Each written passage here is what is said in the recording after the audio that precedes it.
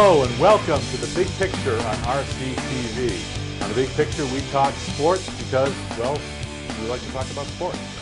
My name is Kevin Vendt, and I'm the host of the Big Picture. I'm here tonight, joined by my guest. It's my brother, Eric Vendt. Hello, how are you? How are you doing tonight, All Eric? right, good to see you. Well, one of the things that was the generation of this show, or the germination of this show, was that uh, when we watch sports, as men do or people do, I guess, you know, we, we, when we watch sports on TV or something like that, we talk sports. And we start just kind of throwing out all sorts of random things about, you know, who's your favorite uh, third baseman of all time, or who's your second favorite Red Sox relief pitcher of the 1970s, or Ooh. yeah, yeah, that's a tough Campbell? one. Bill Campbell, won. I don't know. Yeah, but, yeah. anyway, so we talk about stuff like that, and that was kind of what I wanted to do with the big picture when we started the show. So it was it seemed natural to me uh, to have my brothers on because this is who I do this with. So so I've had uh, my brother Jonathan on, my brother Joel on, and now we have my brother Eric on. And so so we're going to talk a little bit of, of sports, and hopefully you find it entertaining because that's what sports is supposed to be. Sports is supposed to be entertaining. And one of the things that we want to do uh, is that makes sports entertaining is talking about our favorites and our least favorites of things. And so, kind of to do that generically, I was just kind of wondering, Eric, you know, you have a, a broad knowledge of lots of different sports and, and all sorts of other kinds of things. Right now, at this moment in time, who are your favorite athletes? My favorite athletes. Well, And it- why? This may be a slightly controversial answer, Ooh, you know, based oh. on some recent events in Patriot Nation. Oh my goodness! But I gotta still go with Wes Welker right now. Wow. I mean, I'm gonna miss him a lot, but you know, he's a guy who played every day, every game as he possibly could. Got hurt, and somehow he just worked his tail off to get back on, and that's what Yeah. I like about him. You know, and I I'm gonna miss him. You know, Yeah. seeing him out there on the field, I'm gonna miss his the results, obviously. And, Sure. and then when you look at the numbers he put up in his six years in Yeah. New England, He was the best, off the number. Mm-hmm. number one receiver in the league in terms of receptions every year he was in New England. Number one in terms of yards, three or four or five of those seasons. I mean, just amazing numbers in that time period for a little scrawny little guy, really. You know, just an amazing guy. Yeah, and yeah, I just And, and the other thing with, with so so I want him to do well in Denver. I Sure. hope he has a great season, great rest of his career in Denver, and Yep. uh, I hope He loses they don't the make it to the Super. Bowl. Yeah, exactly, exactly. hope he you loses know. in the playoffs I hope he has a great playoff as a player and not so much as a team. yeah, right. Yeah, I think the other thing with Welker is you mentioned his durability. I mean, he missed in his entire Patriots career, he missed one game, and, and that was the only half of a game really when he tore the ACL. Right, You know, on right. making that cut in against was it against uh, uh, Texas? It was against Texas or no, Houston, Houston Right, Texans. right. Um, he made that one cut and he missed the rest of that game. Didn't miss any playing time the entire rest of his He- career. he Uh, astounded everyone by playing game one of the next season. Yeah. It was just what you know. Most people have an injury. It, Sure. At least half the next season they're out. Sure, you know, sure. even then they come back as like, oh, you sure okay? They're very tentative. and he Welker was out there getting hit, and you know, partly like I mean, you look at him. You ever you really look at Wes Welker, like look at his eyes. There's something wrong about him. I, mean, I, I think, but I love it. you know? right. So he's got a screw loose, but that's okay. You we know, like that. you yeah. know, that's right. Excellent. Um, Any other favorites that you'd point out? I have a couple on my Oh list. well, I mean, I mean, it's all right if it's okay to be a little on the nose. I mean, Tom Brady. It's, Okay. it's hard to dispute Tom Brady. Sure. It's hard to dispute David Ortiz. It's hard to dispute those guys. But another guy that really excites me right now is Avery Bradley. Ah, okay. Um, uh, playing with the Celtics again, I love watching him play. I love the uh, the energy he brings to the court. You know, it's different than what Rondo brings, Uh-huh. Yeah. but in some ways a more complete package, especially with the defense. Sure. You know, I love seeing a guard jump up and block shots. You know, it's just you know something that gets me excited and. You know, he can shoot a little. He can, can control the flow of the game, play some defense, and you know, I'm really excited to see him develop. and I'm really looking forward to see Avery Bradley and Rondo play more than two or three games a season together. Uh, I think that would be a lot of fun. Um, I agree with you about the defense. I think Rondo is a better defensive player than he showed this particular season. I think possi- probably because of them asking him to carry a little more of the offensive load. Um, you know, but really, Rondo's defense has always been about steals. He steals the ball, which is a very important thing to do. But it seems as though Avery Bradley is more of a well-rounded defensive. Well, player. more of a one-on-one. You know, he's um, a spot-up defender against someone else can help a little bit. But you're right. You know, Rondo is a lot about the steals, which be big. And if you look at the years that the Celtics have been really good these last five years, Sure. have been when they've been really good in transition. And where Yeah. does transition come a lot of times from those From steals? a big steal or a big block or, or something like that. That's excellent. Well, just a couple to throw off in the top of my list. I have to go traditional, uh, at least for the last bunch of years, on the top of my current favorite athletes. I have a hard time passing by David Ortiz. I, I, I- love the, uh, the, the, the clutch nature of his career. I love the fact that when he's down and out, he comes back and has a monster season last year until he got hurt. Um, and you know, we used to every time David Ortiz, every time David Ortiz hit a home run, we would either call each other or text each other. Ortiz! just say Ortiz, and that was it. We would hang up, and that, that would be it. But it was, you know, that it was a lot of fun, and especially in, in those championship years. You know, when if the game was close and David Ortiz was coming up, you always knew you had a chance, and I, and I love that. Now, does it bother you that he's just a DH?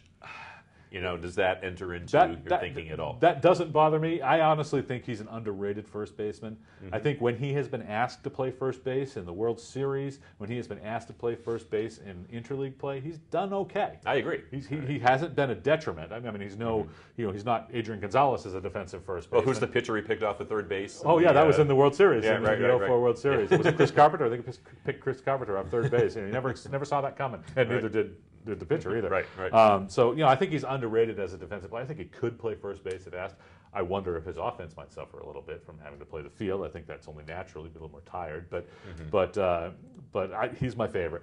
My second favorite, uh, if we really uh, look at it, everyone kind of who knows me knows I love Vince Wilfork. Vince, Vince. you know, I one of the things that I have the tendency to do is, is choose the biggest doofiest guy on any team, and he's usually one of my favorite guys, and so I always like him. And I had number three favorite athlete right now, Usain Bolt. I love Usain Bolt.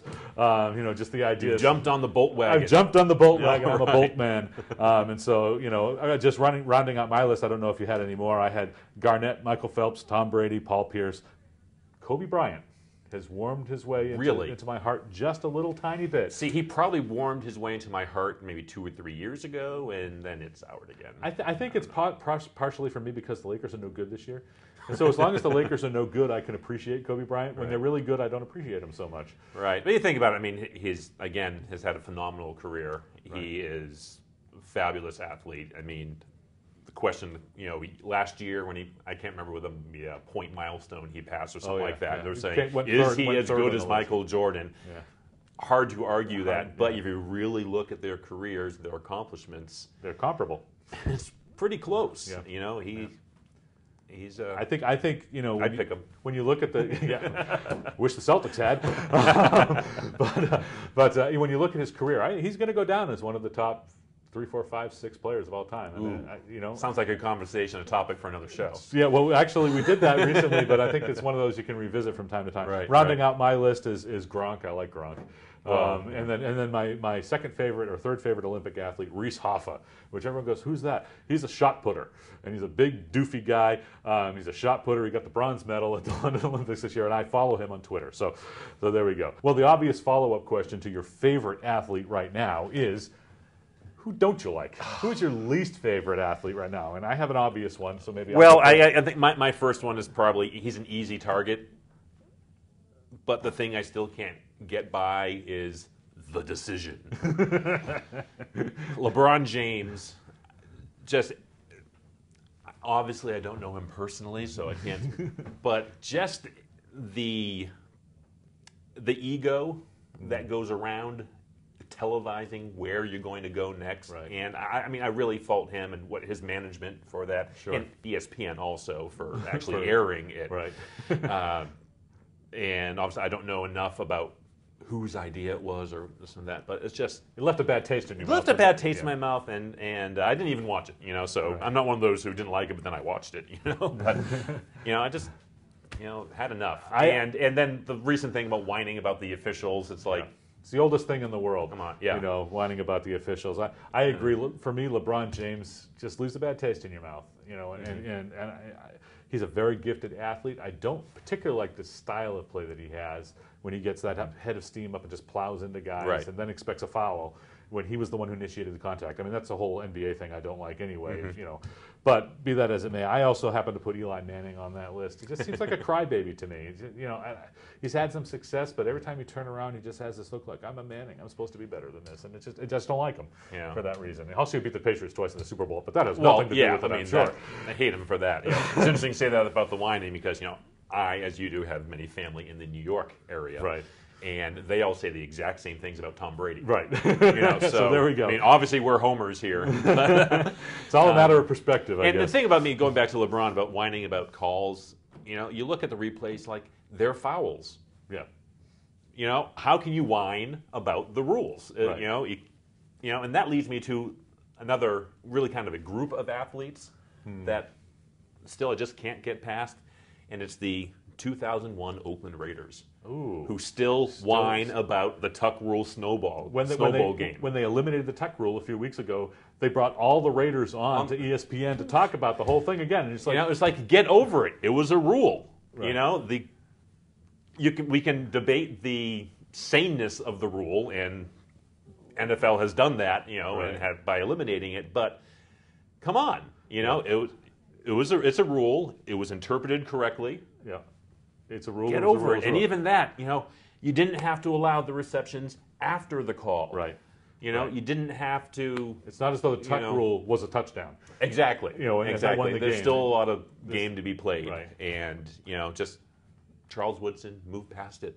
Yeah, yeah, I agree. No, I, I, Okay. and I, I can't stand the whiny athlete syndrome from anybody really. Right. I just had one more, one I didn't particularly care for. I just had any Chinese diver in the Olympics. I, I, Wu seems like- Yeah, they're just so arrogant. That's the way they come across. Obviously, I don't know any of them, but they're like, "Oh, we're Chinese divers. We're going to win the gold medal because we're Chinese divers." In fact, if we don't sweep all the medals, then something is wrong with the judging. Well- and, I don't know. But, but the fact of the matter is that they do sweep all the medals. okay, And that's part of why I don't like them. and uh, you know, in the Summer Olympics, um, two Summer Olympics ago, when Guo Jingjing Yeah, did yeah. all the thing, my son, who was five years old at the time, fell in love with swimming and diving Okay. because of that. Okay, so well, I, mean, I. I, I, I understand what you're saying because it's kind of like, okay, the Yankees have to win the World Series again and again? Right, you know, right. but you know, they deliver. They deliver. They, do, they do deliver. You can't doubt that. Well, we are out of time here in the first half on the big picture. Uh, we've had some interesting discussion about our likes and dislikes, and uh, and from Chinese divers to Vince Wilfork to to Kobe Bryant. Uh, we have people that we like and people that we don't like for various reasons. And yes, we are New England sports homers. With that, we're going to go to break now. We have a few messages from a couple of our friends. We'd love you to watch them and join us back here for the second half on the big picture.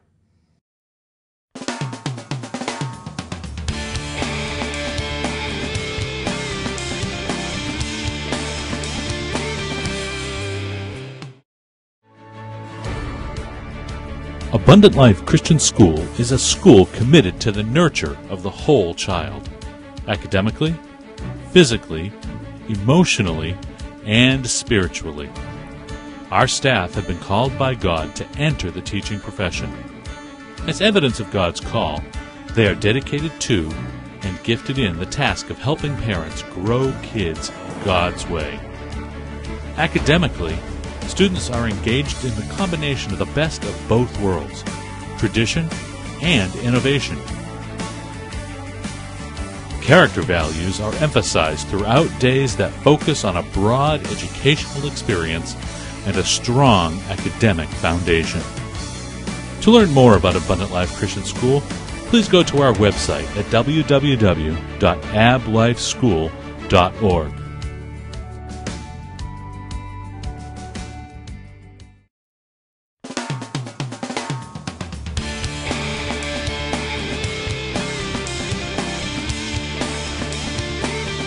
Well, hello, and welcome back to the big picture, the second half. We spent the first half talking about the things we like and dislike about athletes in sports and athletes we don't particularly care for and those who we really enjoy.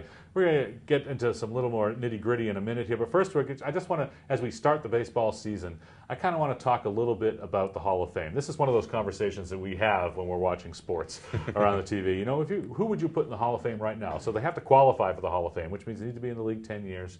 Um, and that's kind of one of the things that can't be in the Hall of Fame. If it, you know Mike Trout can't be in the, the Hall of Fame or something like that. He's definitely in. He's definitely in. He's only No played one. about it. He's only played one season. so if you had to pick Major League Baseball players in the league right now who you think are no doubt Hall of Famers, who, who would be on your list? So players in the league currently playing. Currently playing, though one of mine just retired, but Okay. All right.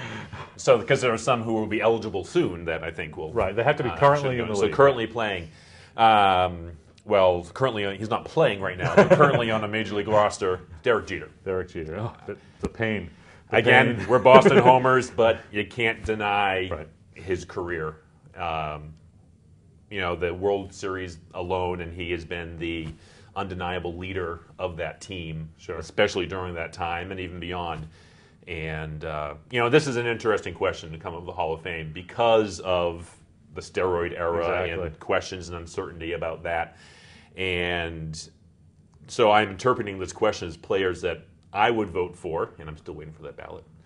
um, and also players that I think will get the votes of the writers. Sure. And the writers have shown that they're not going to vote for people who have had even a hint yeah, definitely not on the first the ballot. Definitely on this first uh, first ballot.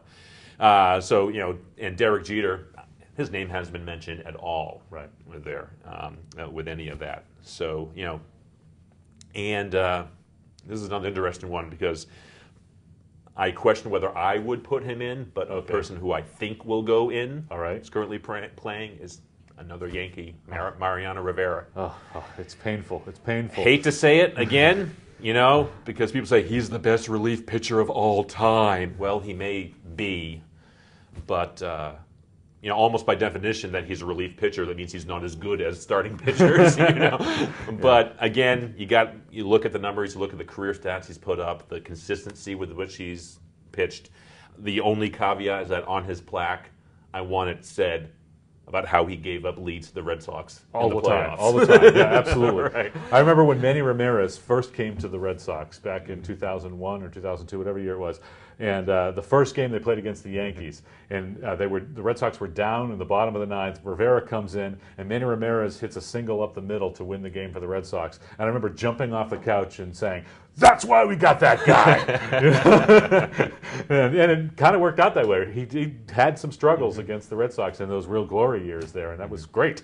Um, you know, the other thing with Rivera is it's impressive how he's taken one pitch and turned it into a career. Right, You know, um, That should be on his plaque, That too. should be on his plaque. The guy only had one pitch. Um, whether or not he's the greatest reliever of all time. I think Rollie Fingers might have something to say about that, you know, but uh, and, and maybe a few others along the way. But Mm-hmm. it, you know, it's hard to hard to argue, especially in the postseason, uh, with the numbers. I have Jeter on my list too, unfortunately. Jeter and Rivera. Okay, we got the distasteful ones out of the way.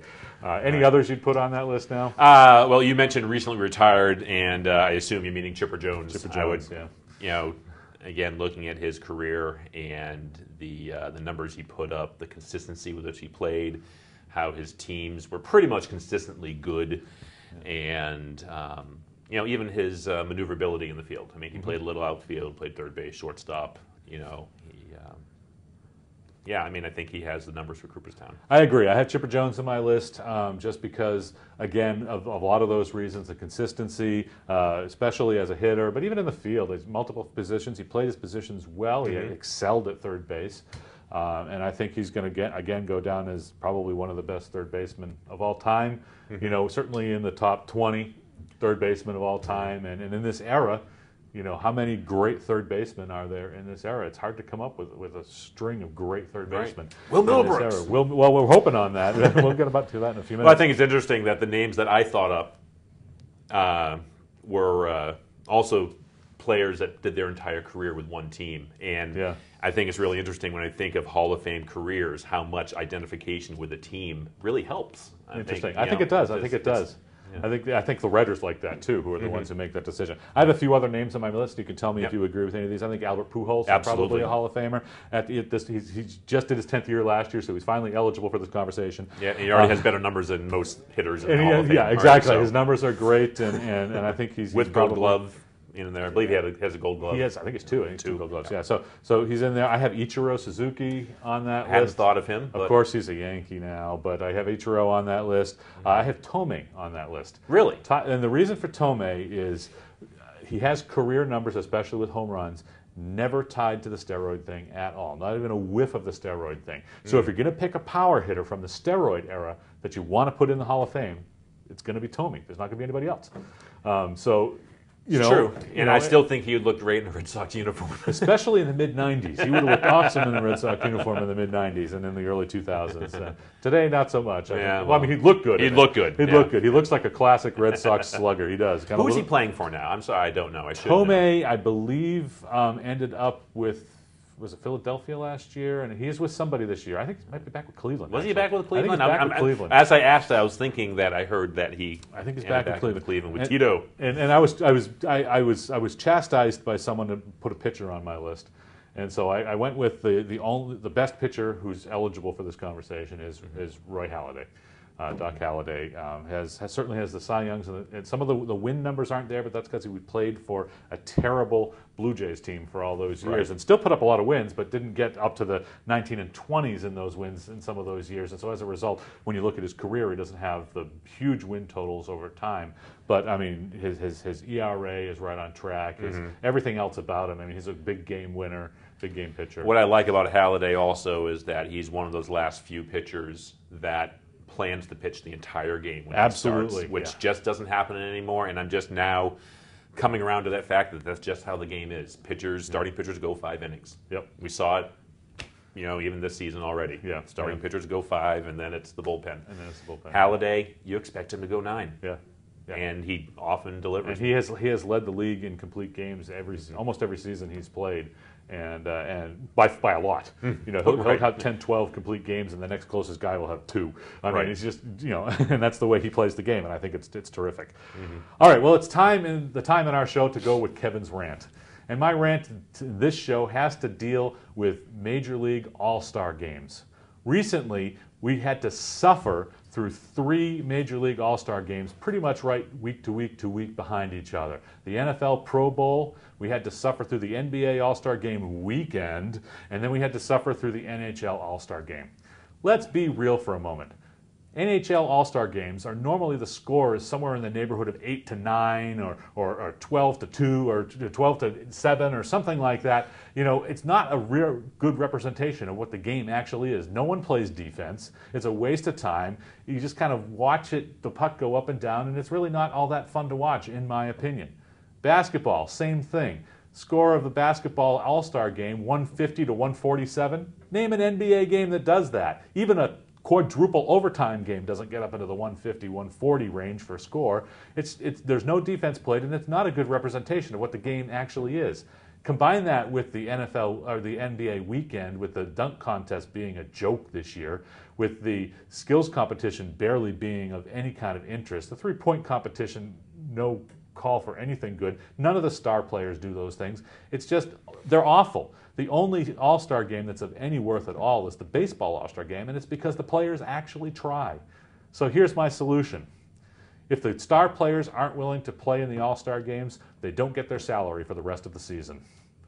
Take their salaries away, they'll play in the All Star game, they play defense, they play a tough game, and it'll be much more fun for us fans to watch. And that's my rant for this show. Can't stand those All Star games. I don't watch them. Well, that would be one solution, wouldn't it be? Okay. The big picture is done. We have run out of time. I thank you for watching. Thank you for joining us for this discussion. Enjoy sports, enjoy the Red Sox season, and we will see you in the future. My name is Kevin Vendt. I am the host of The Big Picture. Thank you, Eric, for being on the show. Thank you. And have a good day.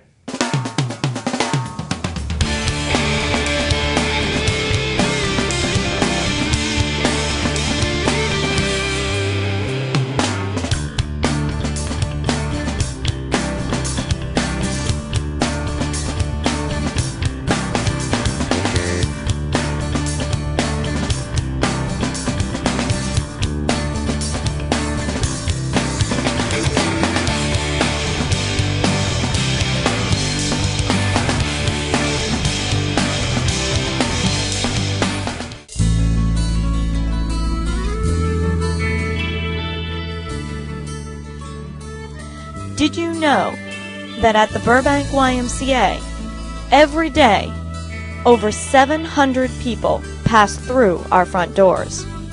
Over 200 children learn to swim in our pools. Over 300 people improve their health in our fitness center. Over 250 children advance their academic achievement in our preschool and after school programs. And in the summer, the Burbank YMCA provides safe and nurturing places to be a kid, where every day over 500 children play, learn, and grow in our five summer camps. At camp, every child is given the opportunity to learn to swim and be safe around the water, to make new friendships that can last a lifetime, be mentored and cared for by adult role models, to experience new things, and to have a lot of fun.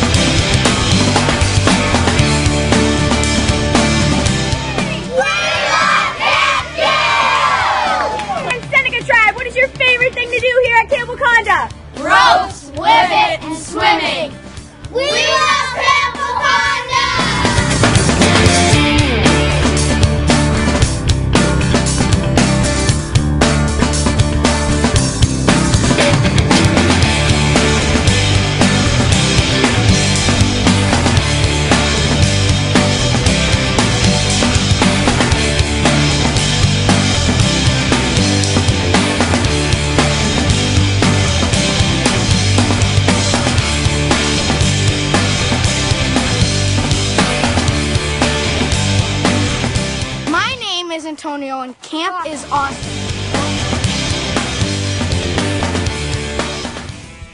The Burbank Y is a charity. We take pride in never turning anyone away for the inability to pay. Our door is always open to those in need. How do we do it? With our members, our mission driven staff, community partners, and you. Join us in making a positive impact in our communities. Together, we can make a difference.